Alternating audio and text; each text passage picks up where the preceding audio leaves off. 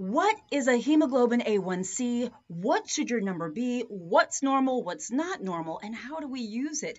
Guys, I'm Dr. Jen Caudle. It's good to see you. Okay, hemoglobin A1C sometimes is also referred to as HbA1c or A1C.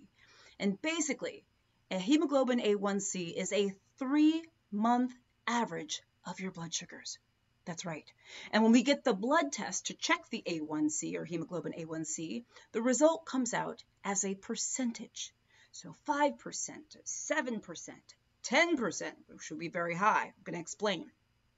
What that percentage is, is it's basically representing the amount of sugar that is attached to your hemoglobin, which is a part of red blood cells, over time. That three month average of sugar in your blood.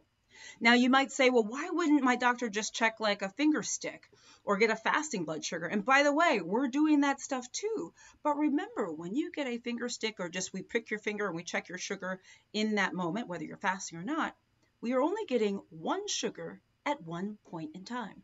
Before breakfast, after breakfast, whatever, it's only one point of data.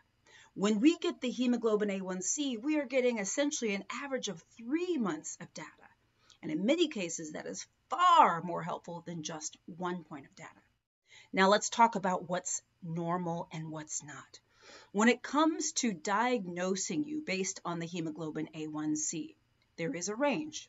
Okay, this is the chart.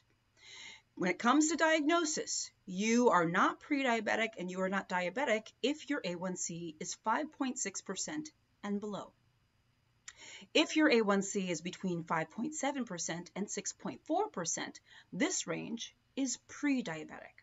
Sometimes we call it borderline diabetes, at risk for diabetes, lots of different terms. If your A1C is 6.5% and higher, you will be diagnosed as being diabetic. That's the, the, scale that we use for diagnosis. And this is why this number is important.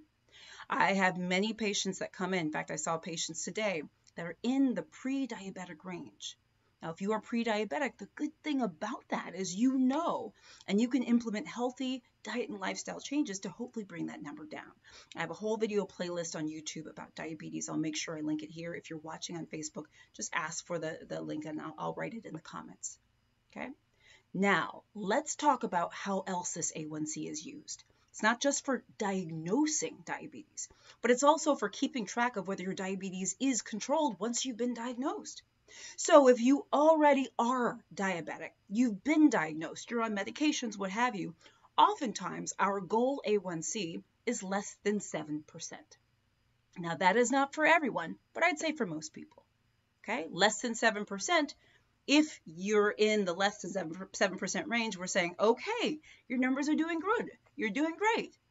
Now, there are some people who might be brittle diabetics, or maybe their sugars are very labile, or they have very complicated medical history, or other things that we may say, hey, if you have an A1C less than 7.5%, as an example, you are good.